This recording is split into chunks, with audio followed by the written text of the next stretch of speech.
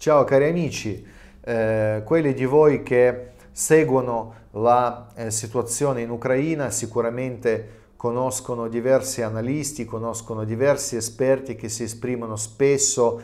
eh, su quello che sta accadendo eh, in Ucraina a livello geopolitico tra la Russia e Stati Uniti, tra Stati Uniti e Unione Europea, tra blocco occidentale e blocco BRICS tra la Cina e altri grandi giocatori nella scacchiera geopolitica. Una di queste voci sicuramente eh, spesso definito ambiguo, eh, spesso eh, le mh, sue opinioni eh, sono eh, stati mh, definiti eh, scandalose e il,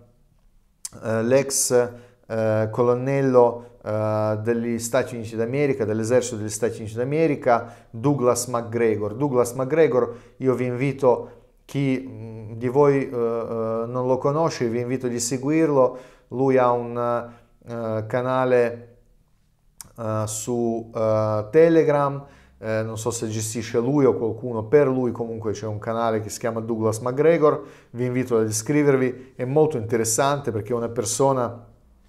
che ha accesso a delle informazioni eh, che arrivano dal Pentagono, è una persona in contatto sicuramente con gli analisti eh, dei servizi statunitensi, eh, uno che ha fatto tutta la vita all'interno dell'esercito statunitense, conosce molto sulle operazioni che Stati Uniti d'America hanno svolto nel Medio Oriente, in Afghanistan, ha dei dati molto interessanti che spesso condivide dati verificabili e, mm, e fa le analisi che eh, in grandi linee sono eh, molto interessanti. Io non dico che assolutamente che lui è una fonte della verità assoluta, eh, come non eh, lo dirò mai eh, di nessuno, eh, perché secondo me non esiste la verità univoca, esistono solo le pluralità delle opinioni, ognuno eh, esprime la propria opinione in base alla propria esperienza, in base a quello che è la propria vita,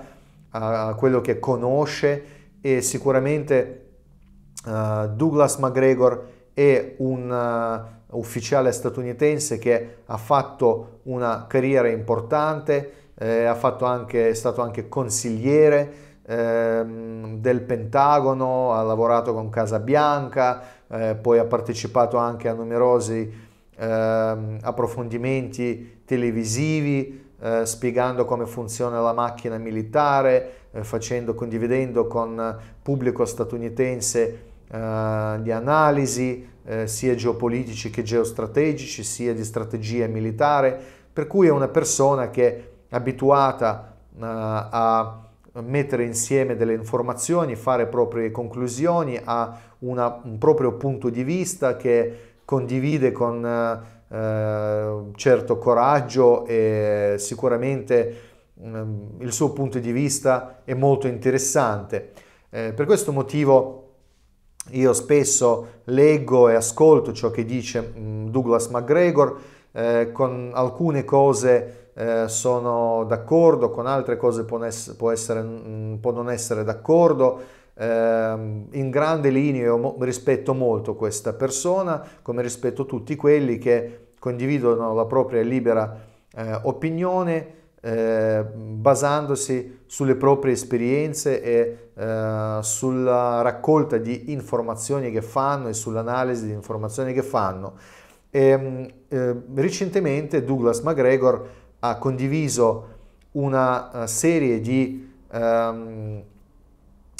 opinioni che sono stati abbastanza scandalosi e in effetti il pubblico statunitense eh, con certo entusiasmo ha cominciato a divulgare eh, questi, eh, questi, video, spezzoni di questi video, si trovano alcuni su TikTok, gli altri eh, si trovano eh, su YouTube, eh, si trovano tantissimi spezzoni di, questi, di questa sua ultima partecipazione al um, programma del canale YouTube uh, Judging Freedom, dove lui spesso è ospite. E um,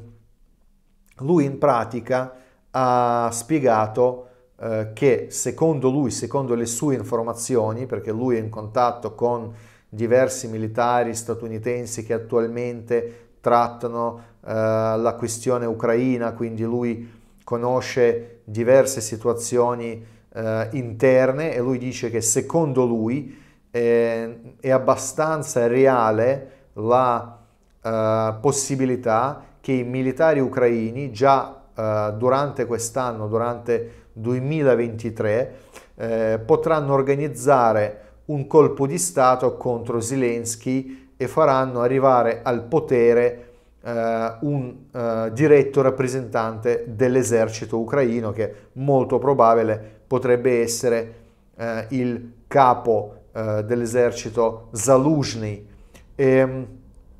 lui ha parlato del fatto che ultimamente sempre più eh, militari ucraini diffondono sia sui social sia attraverso i loro rapporti la, mm, all'interno del, ovviamente del, del, sistema militare ucraino, però mm, voi sapete che i rapporti eh, dei militari ucraini sono eh, studiati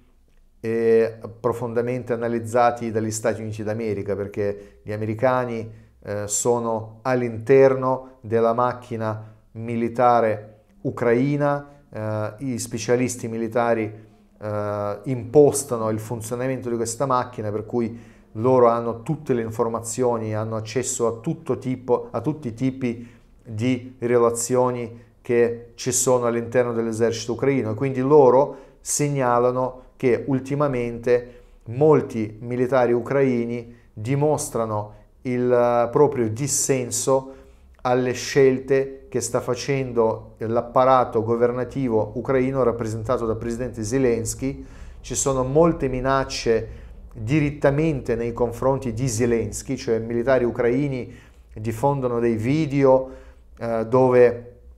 promettono di eh, arrivare a Kiev e impiccare Zelensky eh, prima che lo fanno i russi, eh, molti militari ucraini ehm, incolpano Zelensky di aver trasformato Bakhmut in una grande tritta carne dove i migliori militari ucraini hanno perso la vita. Eh, in, insomma, mh, ci sono anche tantissimi eh, militari ucraini che non sono contenti eh, da diversi personaggi del proprio comando che loro reputano eh, corrotti, che loro eh, reputano lontani dagli ideali eh, del patriottismo ucraino, li, off- li, li, offendono nei loro video e mh, mm, li incolpano di essere mh, mm, di, di, essere lì sulle loro posizioni solo per sfruttare uh,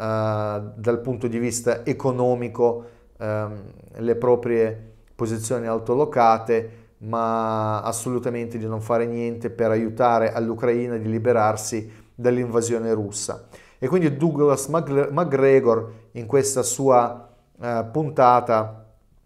ha parlato del fatto che secondo i suoi fonti, secondo gli specialisti americani che eh, monitorano la situazione dell'esercito ucraino, la corruzione del governo ucraino è arrivata alle dimensioni impressionanti. Lui dice che milioni dei soldi in contanti eh, finiscono nelle posti più eh, inimmaginabili, eh, li trafugano da tutte le parti, ehm, coinvolgono le amanti, coinvolgono eh, le famiglie, coinvolgono gli amici per esportare i soldi nei paesi occidentali, comprare lì eh, le case, comprare, eh, trasformare i soldi in eh, qualche eh, capitalizzazione legata al sistema occidentale e mentre in Ucraina sparisce tantissimo, ehm, tantissimo materiale militare che viene fornito all'esercito ucraino per combattere l'invasione russa. E quindi Douglas mm, McGregor dice noi americani facciamo dei sacrifici i nostri alleati eh, europei fanno sacrifici per fornire all'Ucraina i sistemi d'arma necessari per affrontare la guerra e una parte consistente di questi sistemi che noi li forniamo vengono venduti sul mercato nero, i soldi vengono trafugati in Occidente, vengono capitalizzati nei paesi occidentali, come ad esempio famose eh, ville di lusso eh, che eh, persino nella sua, eh, nel, nelle sue indagini la New York Times eh, ha pubblicato le ville di lusso che sono stati acquistati da vari rappresentanti, da vari oligarchi, da vari rappresentanti di Stato ucraino in Svizzera o in altri paesi. E Douglas McGregor uh, sta, spiega che uh,